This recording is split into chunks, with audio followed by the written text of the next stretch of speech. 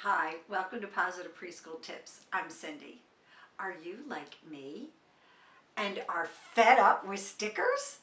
Ugh, I have a love-hate relationship with stickers. I love to be able to reward the students and give them special recognition for doing a good job. But the stickers, oh my gosh, the stickers. The children are playing with them. They stick them on their head. They put them on their clothes. They're distracted by them. The stickers fall off. The children lose them. Oh my gosh, I'm over the stickers. So today's video, I want to offer you some alternatives that you can use in the classroom or at home that will give you some other ways to reward your children and recognize good behavior without the headache of the stickers. So let's just jump right into it. The first idea is a great alternative to a sticker, and that is to use some chapstick. Now, what you want is some really sweet, good smelling chapstick, something like strawberry or blueberry, something that has a nice, strong, familiar smell. And I'll link some chapsticks down below if you are looking for some specific ideas. But what you do is you take the chapstick and you just rub it on the back of the child's hand. This way the child can smell it. It's a little reward or recognition for good behavior. It's so fun because it's invisible. The children can't play with it. They're not distracted by it. It doesn't fall off.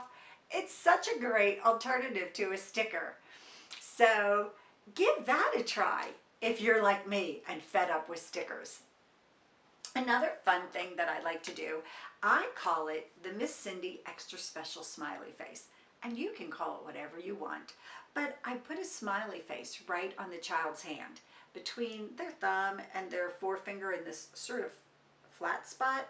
You can try it on the back of their hand. This tends to be a little bit smoother, so this is the spot that I use. I like to use a washable marker.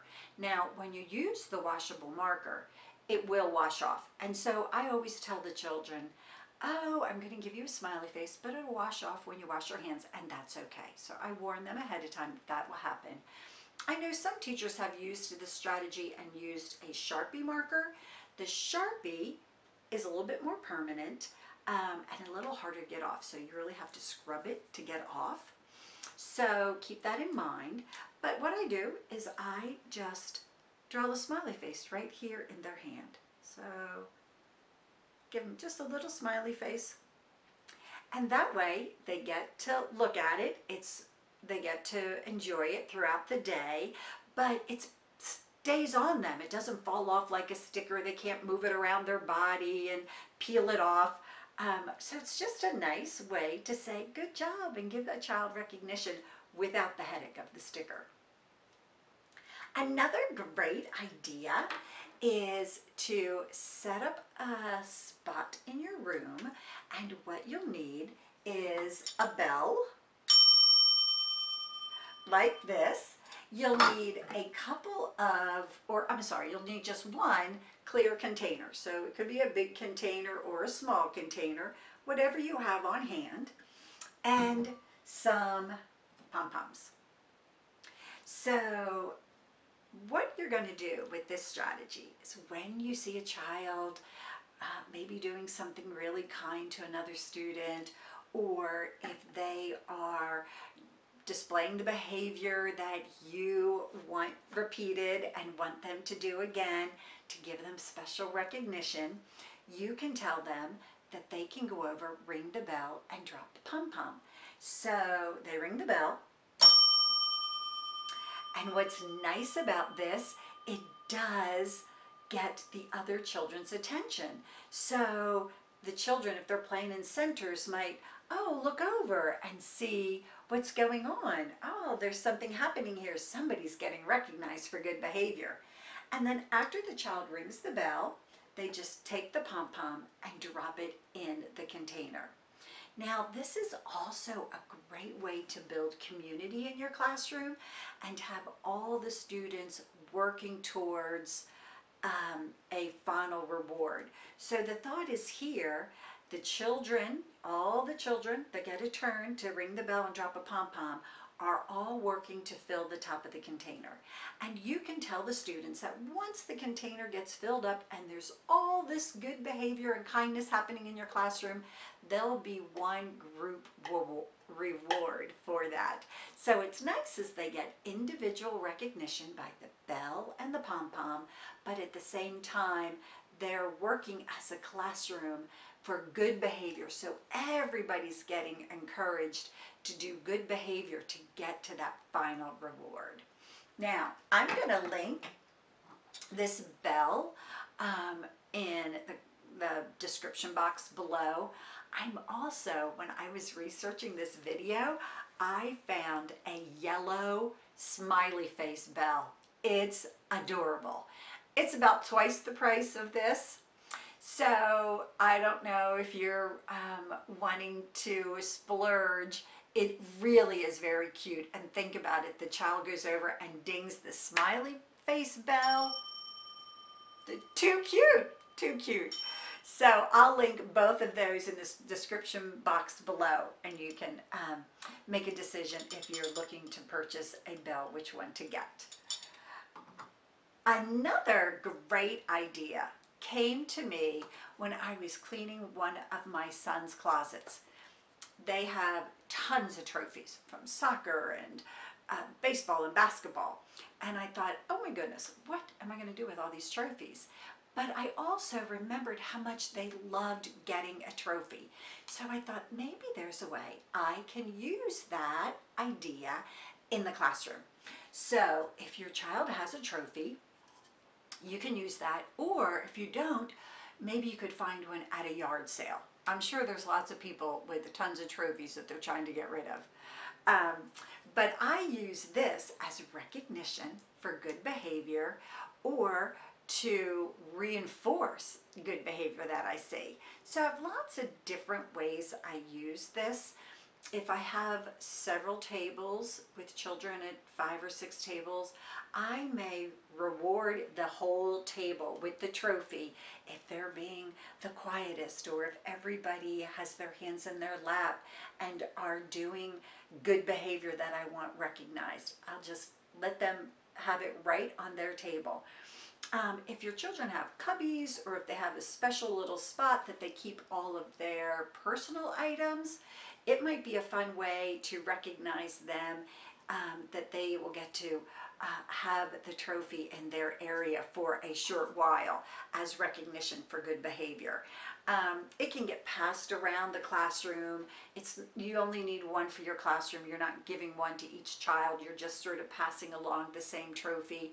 You could give it to a child that's listening really well for them to put it in front of them um, when they're sitting on the carpet or in front of them at the table um, so that everybody can see that they are being recognized and rewarded for good behavior. What I like about this as well is the thought of kind of recognizing a student for good behavior is that the other students will then model that behavior and emulate that behavior because they were going to do what needs to be done to get the trophy or to ring the bell or the smiley face, whatever your reward system is. Another great alternative to a sticker is to give children a little clothespin. This is a little mini clothespin. I think I got it at the dollar store or craft store, but you could use a regular size clothespin. And you are going to let the child clip the clothespin onto their clothes when they're getting uh, recognized for good behavior. Uh, they could click it on their sleeve or on their collar, on the bottom of their shorts or skirt. Um, now the one drawback of this is that, especially if the children have some really good fine motor skills, they can move it around their clothes and play with it a little bit.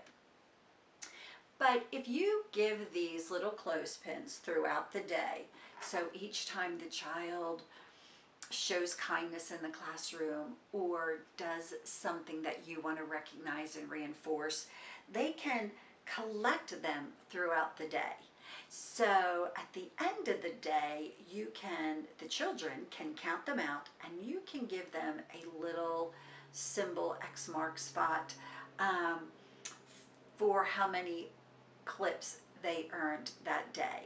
And then it can be a cumulative program and they can um, all the whole class might be working to get 10 clips and once they get 10 clips they get another sort of um, way of recognizing them for good behavior and if you're not using the extra special smiley face maybe it's to go home with a smiley face on their hand and in that way the children tend to be a little bit more cautious and careful about not losing them and collecting them so that they can get to that final number um, and get the reward. So all the children will be sort of working and adding up their clips to get to that final reward. So that's a fun idea too. Just a little side note, I always think it's fun to give your system some sort of name, whether it's the extra special smiley face, um, you could call it a kindness catcher and say, oh, I caught you being kind, you get to earn a clip. Or you could call it the Gotcha Award, I got you, you were doing a great job. You can put a, ring the bell and put a pom-pom in the jar. So just some fun little way to uh, give it a name and that makes it a little bit more special and a little bit more fun. If y'all have a better, um, probably more creative certainly than me, idea on a way that you would call your behavioral um, reward system, please leave it in the comments. It would be great to share all those ideas with everybody that um, is looking at this video and looking at the comments. If you have another system um, that you use that's an alternative to stickers that you really like and it's really successful for you, I would love for you to share that in the comments. That would be great to share with everyone. Thank you so much for your time. Thank you for watching this video. If you liked it, if you found something helpful or useful, please subscribe and like. I would really appreciate that. I thank you for your time. Have a great day and have a great preschool day.